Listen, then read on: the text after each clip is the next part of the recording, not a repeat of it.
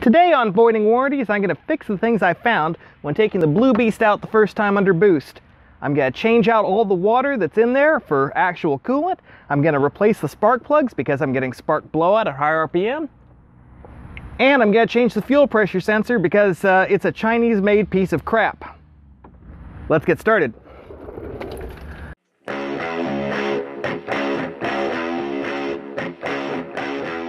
Voiding warranties, where saving three pennies is often worth the cost of one pound.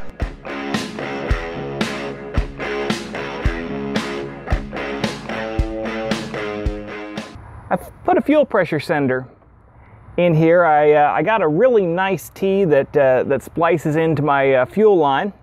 And then I put a really cheap Chinese pressure module on it. And lo and behold, the thing failed. Failed after just a few miles. So instead of going out and buying an expensive fuel pressure module for 80 bucks, I'm gonna buy another 20 buck Chinese module that will probably fail about as quickly. Because it's all about saving money. Now, if I can go reach down in here and unscrew the one that's in here, I'll just unscrew it and screw the new one back in.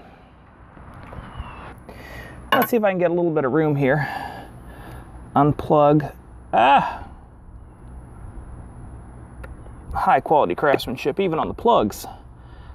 Unplug the new module from the plug. Yeah, wires look fine, it's just not glued. I can fix that later. Take the new module, apply just a little bit of thread sealant because I do not want this leaking fuel everywhere. Alrighty. And now, to get the old one out, let's remove this hose here. You know what? I already got it undone there. Problem solved. Now let's use the absolute worst tool for the job here, vice grips. Because they were handy. Sized it on the new one, so it should fit just fine on the old one. The line for the boost solenoid out of the way, and...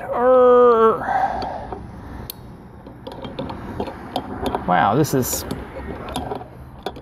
almost too easy.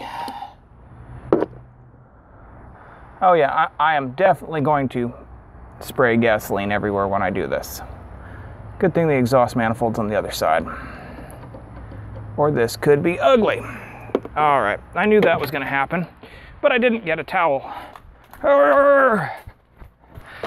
Again, professionals. Not professionals, professionals. There's a difference. Okay, that's the old one. This is the new one.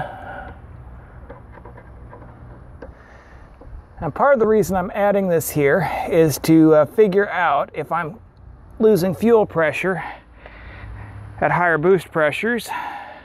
The other part is I'm going to do a closed loop fuel pump pressure control.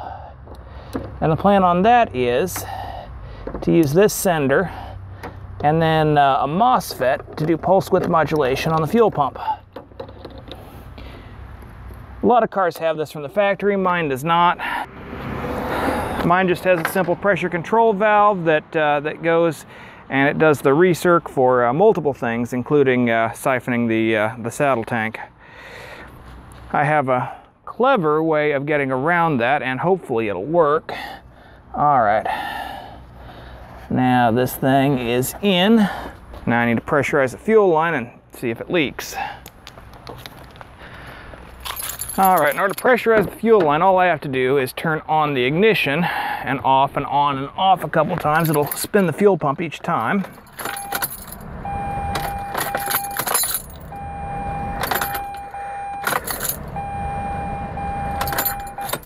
And it should be pressed up.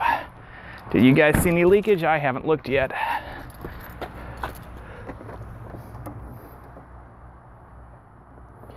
Okay.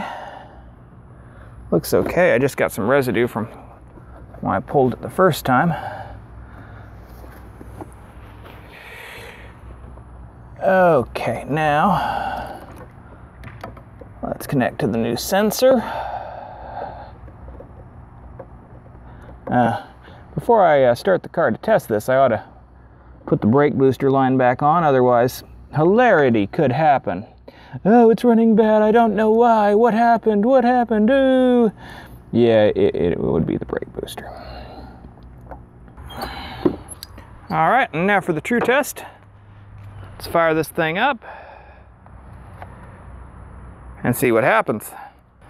Hopefully, fire it up as a figure of speech. This car has had a mixed life.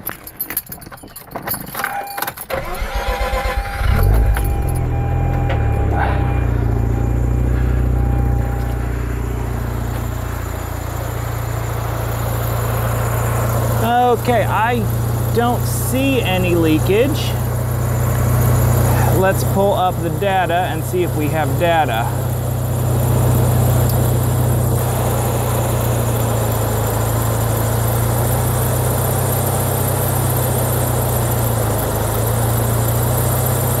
Okay, it's still connecting, still connecting. Okay, it's showing 85 pounds. That's completely wrong, but it's also not set up for this sensor. Let me fix that really quick. And see if we can get this at least close. I'm not gonna calibrate it for everything yet. This is just gonna be a basic zero to five volt, zero to 100 pounds, which is not exactly what the sensor is, but it's close. And looky there, 56, 57 pounds of fuel pressure, and that's about right. That is what I expect. All right, guys, I'm almost there. I've only got one more thing left to do before I can take the Blue Beast back into boost again, and hopefully with less problems this time. I've got to change the spark plugs.